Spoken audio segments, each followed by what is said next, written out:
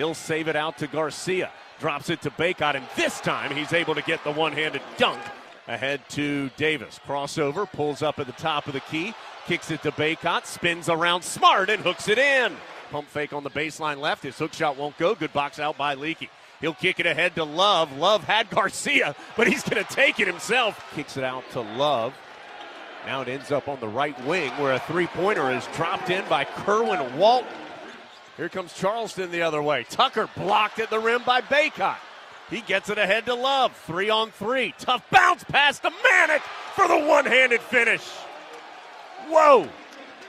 It ends up in the paint, right of the lane, just outside the paint to Bacot. Boy, he went right around far, spun to the cup, and laid it in. He's doing a, a good clinic down there. Yeah, he's doing a good job of keeping the Charleston defenders moving. Still 15 on the shot clock as Carolina reverses it to Davis. Now to Manek. Hadn't been very clean from three, but he drops that one in from the right sideline. Carolina down five with the basketball. Davis hits the Jets, goes to the rim, gets it to drop, and draws the foul. Holy cow! 15 on the shot clock for Davis. He drifts to the right, sends it out to Manek. Much better look at the triple this time, and he drops it home.